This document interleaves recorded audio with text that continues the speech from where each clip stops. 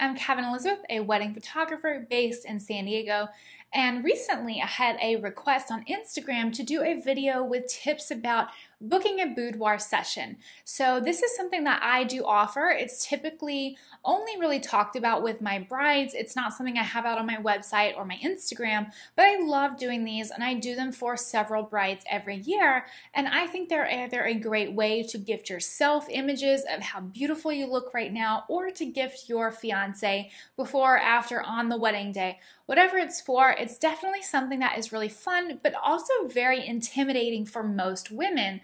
Um, I say women because I don't do boudoir shoots. Um, that's something that I'm not super comfortable with. So I focus on women and boudoir shoots. And it's something that I have a lot of fun doing because typically going into the session, the woman will feel nervous and uncomfortable, but five, ten minutes in, she feels so confident, and so beautiful and relaxed and at ease. And I love being able to give that experience to brides and show them that they can be vulnerable and also very confident at the same time. So, when I talk about boudoir sessions, um, it's really something that for me is very tasteful. I have seen very raunchy and honestly, sometimes what I feel like are kind of tacky boudoir sessions. I am much more of a fan of the understated, more elegant, soft, fine art boudoir sessions that's my personal style. You might like the more raunchy pinup type thing.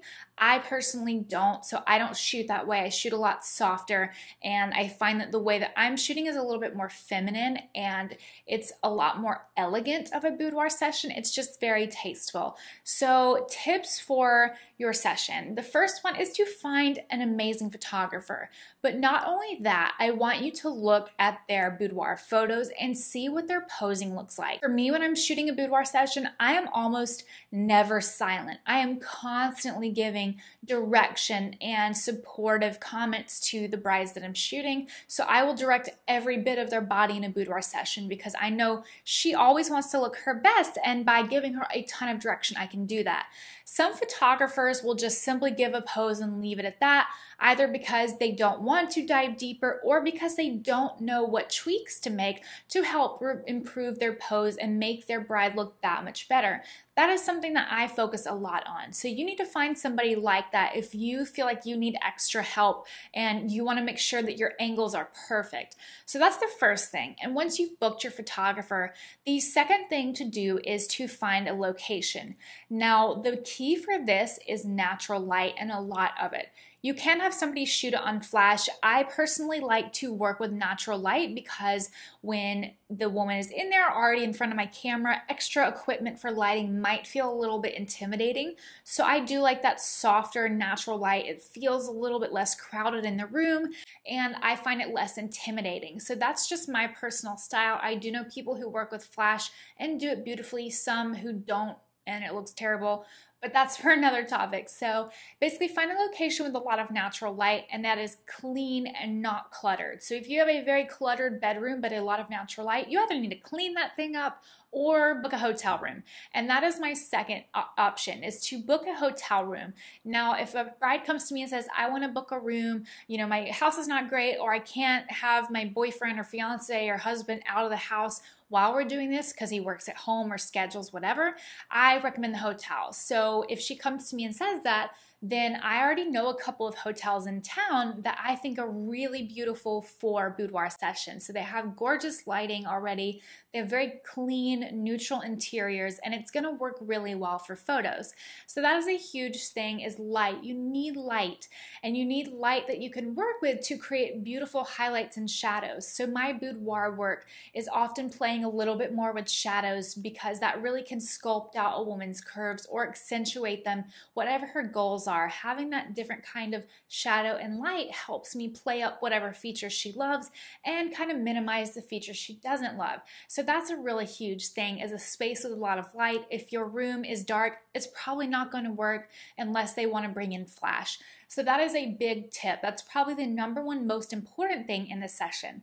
Now, the third thing is to make sure that you are choosing outfits that you feel beautiful and comfortable in. So I recommend for boudoir sessions probably three to four outfits it's a little bit more than I would do for an engagement session, but it's just small stuff, so it's pretty easy to change. Or you could have three and then you could throw on like a beautiful robe over the top of one or two of them to change it up.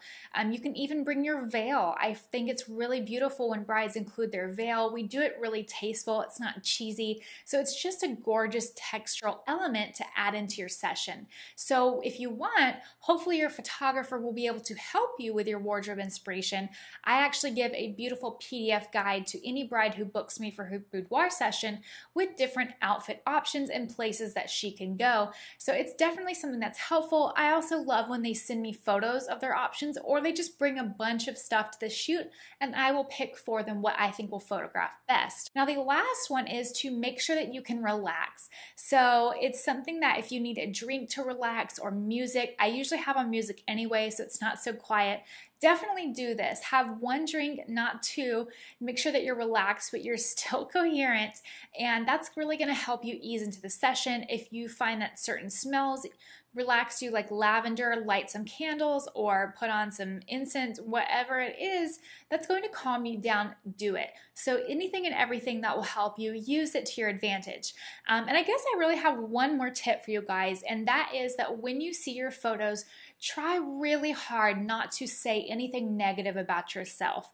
So sometimes I will have clients, they'll come into view their photos for ordering, and some will love a lot of them, and some will nitpick everything about themselves. And there's a point where there's only so much I can do with direction and support, and where somebody just simply doesn't love themselves and picks on the way that they look.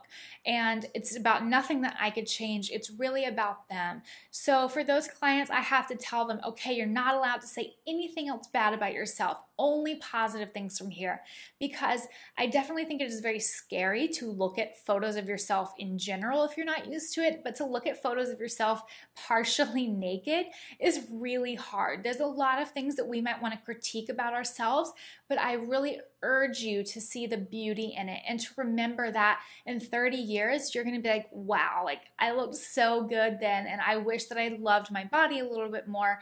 I hear that with time comes wisdom, and wisdom comes acceptance. So just try to be positive, think good things, or move past an image that you hate. If there's one tiny little thing, maybe the photographer can kind of liquefy it or shape it up or edit it out a little bit, um, whether they charge extra or they include that service when you buy a print from them. That's something that I offer. If they're ordering photos in an album or prints through me, I will retouch up little things. I'm not going to turn them into somebody that's not them, but if there's a little bit of an arm bulging somewhere, I'll tuck it in a little bit if they want me to. It's not a call I make on my own, it's something that they would have to request.